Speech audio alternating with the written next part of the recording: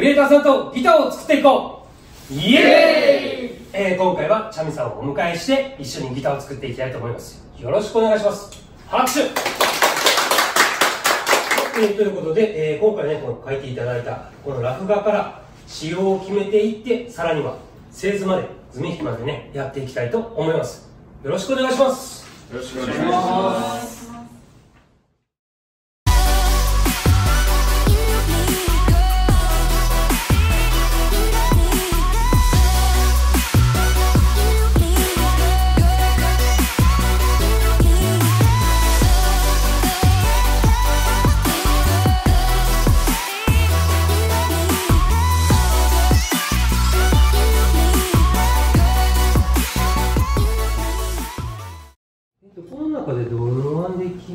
そうですね。どどれが逆にいいとかあるのかなえっ、と、このさくらんぼの形、多分そもそもギターケースに入らないので、まあこの2番か3番かなと思うんですけど、3番確か製品でもあるようなものなので、B 個人的には B の方が良いかなと思いました。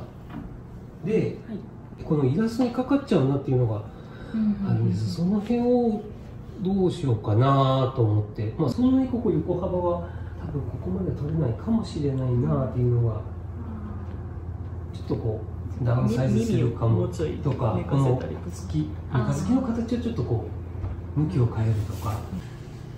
でもいいような気がするな。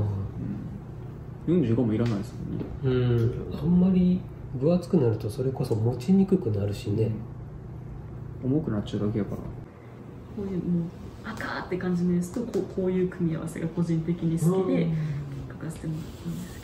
けなるほど、どはい。じゃあ結構この色のイメージ通りの色なんですね。あどちらかというと、はいそうです。あはははあとそうすることを考えたらこの大きいのはちょっと怖いんでここら辺の細めのやつでいこうかなと思います。いいよね。はい。はい。でちょっとすり合わせの余裕考えて 24H でいこうか。うん、を21フレットでいきましょう。見えてるわけじゃないから。斜めに見た時に可愛いような感じのあれそうこのこの角度で見た時に可愛いああでもガチウサギでもないしなはい、お疲れ様です。お疲れ様です。ということでね、えーざっくり、えー図面もかけましたので、次回は木工編、みんなで木くずまみれになります。